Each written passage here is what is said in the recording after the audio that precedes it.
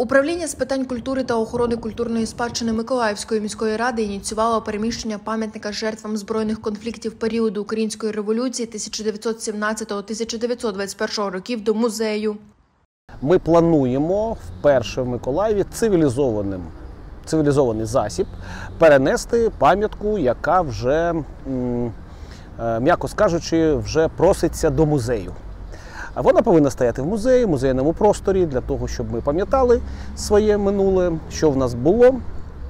Але е, в публічному просторі е, пам'ятки радянських часів повинні зменшуватись е, в кількості своєї і дойти до того, щоб ми бачили нові символи, нові сенси на вулицях нашого міста. Прибираючи ці пам'ятки з вулиць нашого міста, ми повинні також їх зберігати, якщо вони такі є пам'ятками, а вона є пам'яткою монументального мистецтва, вона є пам'яткою історії. Юрій Любаров ініціював обговорення, на якому заслугою думки громадськості і експертів. Саме вони вирішать, чи перенесуть пам'ятник до музею, чи залишать його в парку.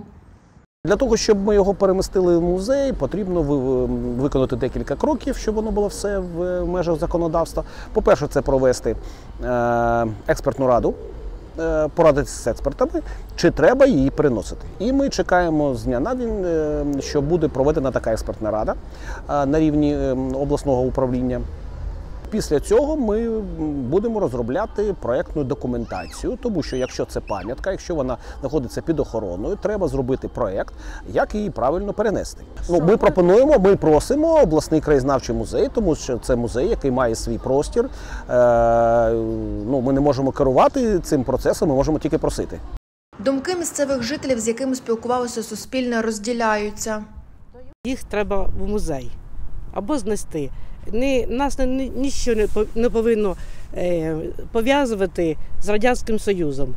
Ми окрема держава, Україна, і повинно бути все Україна. Почнемо, почнемо все з нуля. 61 коммунара. Это ж те коммунары, которые тоже в Отечественную войну, ну, уже точно ничего не, не помню уже, через реку Ингу пере- переходили, короче говоря, бои были. Все равно, стоит так стоит. Конечно, там бы он был в сохранении в я не знаю. Тут тоже, кому он мешает? Перший пам'ятник від початку мав назву борцям за владу рад і був знесений під час Другої світової війни. А вже в 60-х роках минулого сторіччя на цьому ж місці з'явився новий об'єкт у первісному вигляді з цією ж назвою, розповідає історик Юрій Котляр. Е, Саме приблизно на цьому місці відбувалося повстання. Е, Повстання, березневе повстання 1918 року, е, коли велика частина миколаївців, які намагалися боротися проти австро-німецьких окупантів, були знищені саме тут. З іншого боку, це вже період генерала Слащова, 1919 рік, коли приблизно на цій же території було знищено цілий ряд людей, яких пізніше за радянською легендою було названо 61 комунаром.